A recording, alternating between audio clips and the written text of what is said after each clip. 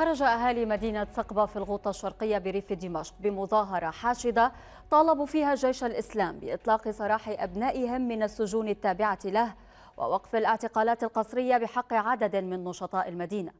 كما طالب المتظاهرون القضاء الموحد بوقف الإعدامات والكشف عن مصير بعض المغيبين. نتابع.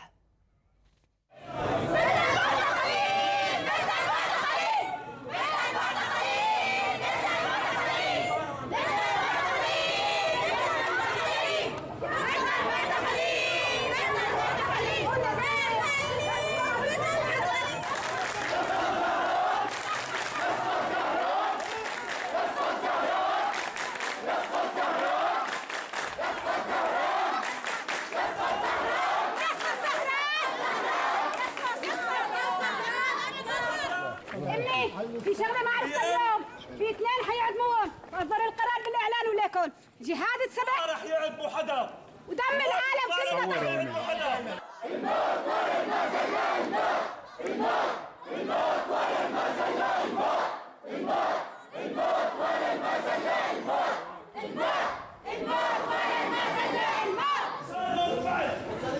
بدنا المعتقلين وبس قال من في على بكره بنلاقيهم بالساحه معدومين 60 شهيد بسبب 700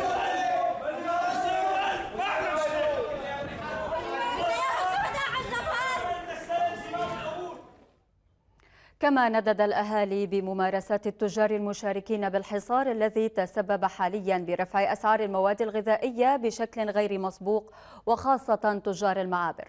حيث طالب المتظاهرون قائد جيش الإسلام الشيخ زهران علوش بالسعي لتخفيض أسعار المواد المعيشية والتموينية في المدينة. كلياتكم أولادنا وأخواتنا وأبهاتنا.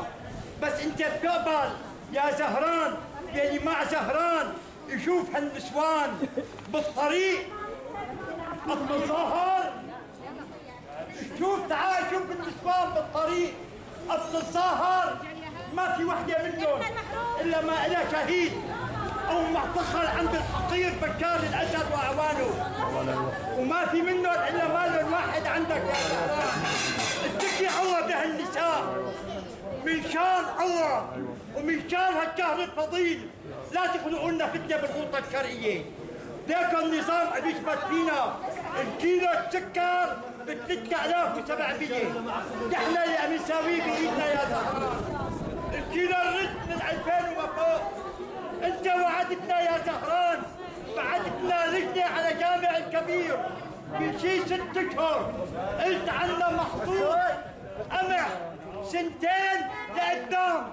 الكيلو القمح عنا بنغوطه بالالف وما فوق. يا جيش أنا جيش ومو لك ليش هيك عم تساوي فينا؟ نحن طلعنا ضد الظلم، طلعنا ضد بكار الأسد، ولساتنا ضد بكار الأسد، بإذن الله بإذن الله. وما يزال نحن ضد بكار الأسد، نحن ما ضدك يا زهران، بكرة بيوزعوا نحن 3 كيلو في أفراد. البلد تسكت البلد. نحن اهل اهل الغوطه اهل تكبير تكبير لمناقشة هذا الموضوع بينضم إلينا أبو نبيل سقبة الناشط الميداني من سقبة وأيضا حسام محمد الكاتب الصحفي من الريحانية. وبينضم لنا أيضا براء عبد الرحمن الناشط الإعلامي من الغوطة الشرقية. أهلا بكم.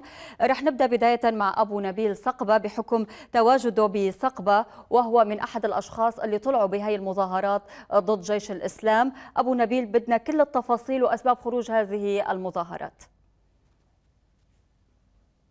بسم الله الرحمن الرحيم بعد الحملة الأمنية التي قام بها جيش الإسلام على مدينة سقوة آه، واشتراك مع فيلق الرحمن وجبهة النصرة بتاريخ 2/2 واعتقال حوالي 60 عنصر من الكتائب المستقلة بعضهم موجود على الجبهات وبعض قادات هذه الفصائل مبايعة لتنظيم الدولة من أجل الدعم وليس اقتناعا بفكرها.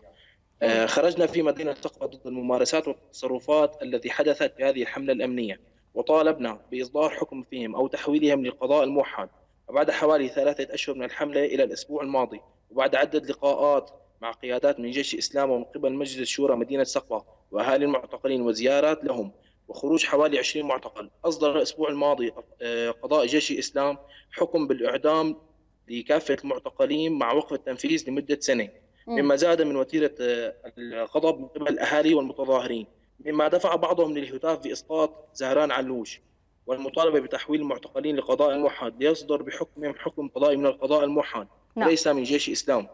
ومظاهراتنا في مدينة مظاهراتنا في مدينة سقبة كانت بالأساس ضد الظلم من أول الثورة وسقبة حاضنة للحراك السلمي ومستمرة به. طيب. ونحن نرفع آه، علم طيب الثورة يعني المباركة. أبو نبيل لو تحكي لنا أكثر عن هؤلاء المعتقلين هل من معلومات لديك حول تعدادهم وأيضا شو هي التهم اللي اعتقلوا على إثرها نعم.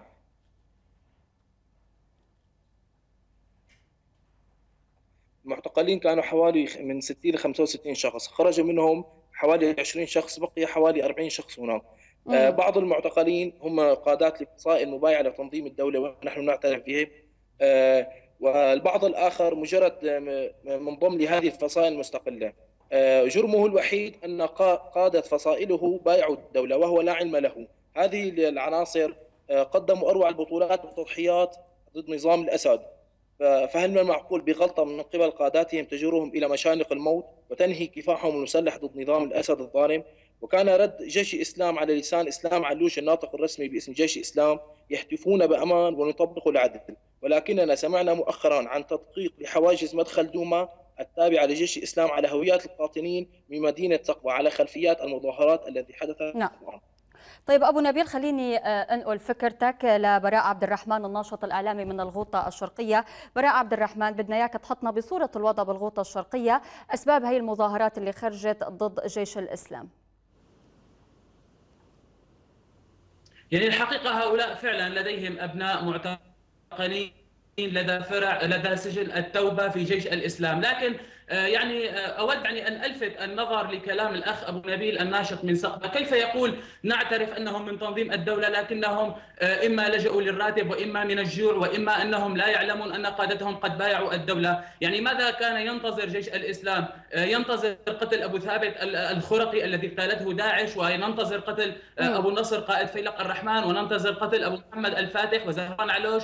ثم نأتي لكي لا آه، يتم اعتقال هؤلاء الذين بايعوا تنظيم الدولة لو لم تكن هناك قبضة طيب بس براء أيضا بدي أذكر نقطة ثانية أنه أهالي الغوطة ما احتجوا فقط. على هؤلاء اعتقال هؤلاء الأشخاص أيضا. هناك في آه، في مظاهرات خرجت بخصوص الأوضاع المعيشية وغلاء الأسعار وعدم التحكم بخصوص آه، ارتفاع الأسعار وخصوصا عند المعابر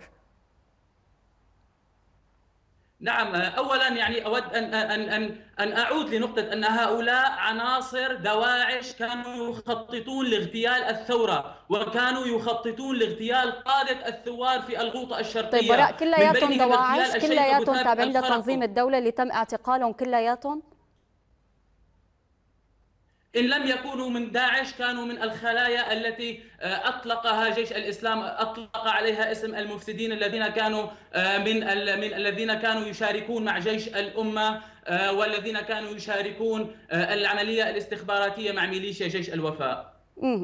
طيب آه، خليني انتقل لحسام محمد الكاتب الصحفي من الريحانية. آه، السيد حسام يعني أهالي آه، الغوطة الشرقية يكفيهم حصار النظام ليأتيهم حصار من نوع آخر حصار جيش الإسلام من الناحية التجارية وأيضا اعتقالات وأشخاص مغيبين. كيف بتشوف صورة الوضع؟ ال- السورية المسلحة لأنه هناك في الوقت الحقيقة ما لاحظناه في الآونة الأخيرة أو بالتحديد خلال الشهرين الأخيرين هو تراجع آه، كبير في أداء القضاء الموحد في الغوطة الشرقية. يعني آه، آه، أعتقد أنه أصابه بعض الخلل. هذا الخلل بات واضحا أنه سوف يصب بالطرف أو الجانب الآخر وهو الجانب ال- يعني نقول الغير يحبذ جيش الإسلام والاتحاد الإسلامي وفيلق الرحمن. وهذا الوتر الذي بدأ بتداوله بين الناشطون وبين المتظاهرين في الآونة الأخيرة ضد جيش الإسلام. نلاحظ في الآونة الأخيرة نعم هنالك ضعف كبير في القضاء الموحد هنالك ضعف كبير لدى إعلام جيش الإسلام. جيش الإسلام لم يخرج ل- في بيانات صحفية بيانات رسمية توضح ما من هم المعتقلون ومن وما هي جرائمهم. أيضا القضاء الموحد في الغوطة الشرقية لم يخرج بتلك البيانات. يعني هذه هذه خطوة تحسب لأهالي المتظاهرين. ومن جهة أخرى يعني القضاء الموحد هو من أعطى الشرعية لجيش الإسلام في اعتقال هؤلاء وهو أعطاهم المظلة الشرعية في الغوطة الشرقية؟ ومن من جانب آخر وهي وهو الأهم أن في الغوطة الشرقية ليس فقط جيش الإسلام هنالك الاتحاد الإسلامي هنالك هنالك فيلق الرحمن هنالك جبهة النصرة هنالك أحرار الشام. إن كان الجيش الإسلامي فعلا قد ارتكب آه، خطأ فادح أو بإصداره لقرارات الإعدام. أين بقية التشكيلات العسكرية في الغوطة الشرقية؟ لماذا هي ساكتة عن هذه الانتهاكات؟ إن كانت هنالك انتهاكات. يعني هذه الأمور آه، أعتقد أنها تعطي قوة آه، حقيقية لجيش الإسلام على الأرض في الغوطة الشرقية. هذه من جانب من جانب آخر حتى أن جيش الإسلام كان قد أفرج خلال الآونة الأخيرة على عدد من أولئك المعتقلين ولكنه لم يخرج إلى وسائل الإعلام ويتحدث عن إطلاق سراحهم آه، ولم يتحدث عن البقية. ما هي جرائمهم؟ ما هي التهم التي وجهت إليهم؟ يعني في الحقيقة في الغوطة الشرقية يبدو أن القضاء الموحد أو تراجع أدائه في القضاء الموحد سوف يكون نقطة ضعف آه، يحارب بها جيش الإسلام في الآونة الأخيرة. يعني هذا تقريبا هو جل الموضوع في الغوطة الشرقية. أما من الجانب الغذائي في الغوطة الشرقية ليس فقط آه، جيش الإسلام أو المتظاهرون هم من يعاني من نقص الغذاء. كل الغوطة الشرقية تعاني.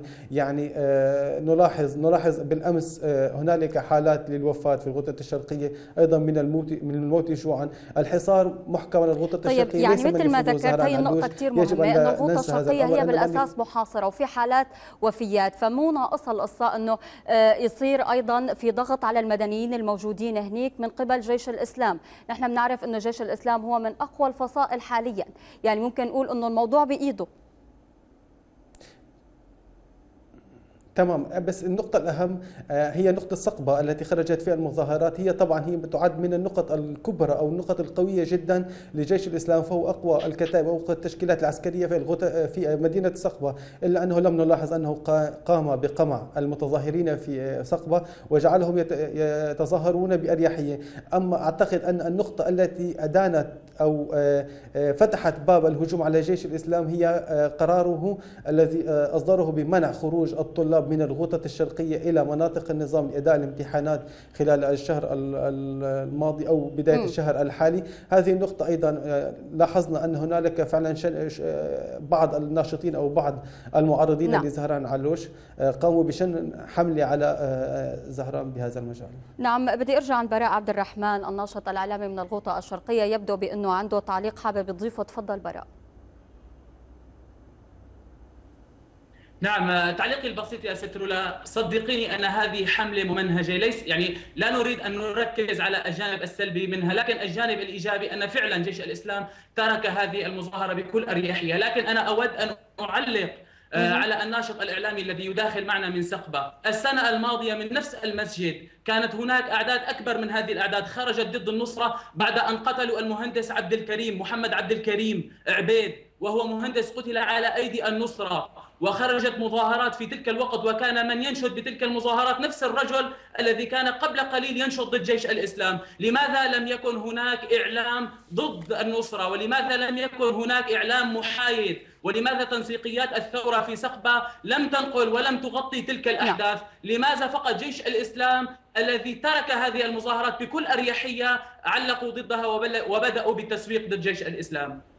عموما براء يعني الأهالي بسوريا وبالغوطة وين ما كان يعني كسروا حاجز الخوف وصار من حقهم انه يتظاهروا على أي شيء ممكن فعلا إنه يكون بمس فيهم وإنه يأذي الثورة اللي قاموا فيها. بشكرك براء عبد الرحمن الناشط الإعلامي من الغوطة الشرقية وأبو نبيل صقبة الناشط الميداني من صقبة وحسام محمد الكاتب الصحفي من الريحانية. ومشاهدينا نختم حلقة اليوم بلقطة الانتصار التاريخي. إلى اللقاء.